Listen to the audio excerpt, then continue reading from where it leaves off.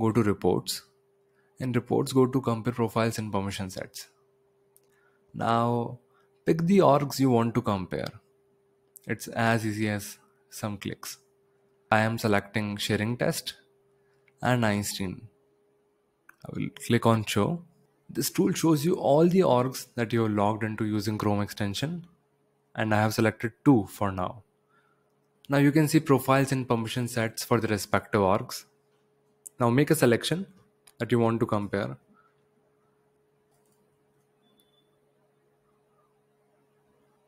I'm selecting a few things. Now similarly select profiles. So I'm selecting two profiles, minimum access and system admin. Similarly, I will select here. I'm selecting the same.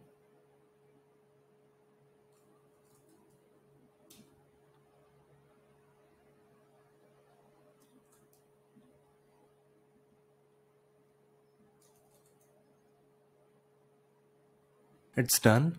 You can always change the name of your file from here. For me, it's profile and permission sets. Export Excel. Here's really cool part.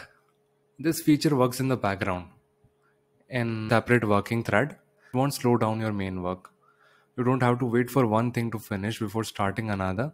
It's like multitasking made simpler. So here it is.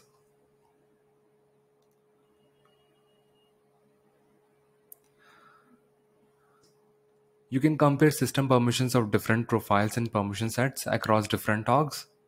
As you can see here, if you will go to Apex classes, check out how different orgs handle Apex class permissions. You can check them here. Visualforce, see how VF page permissions stack up in different orgs for different profiles and permission sets. Similarly for object access, compare who can do what with objects in different orgs you can see all the objects here their access level and the org. Now going to record type find out who can access different record types in different orgs in an easy to understand manner. Going to layout assignment check out how layouts are assigned in different orgs. See here you can see all the information here.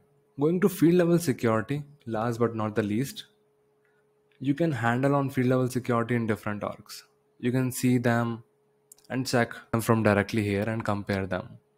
This is how it works. Thank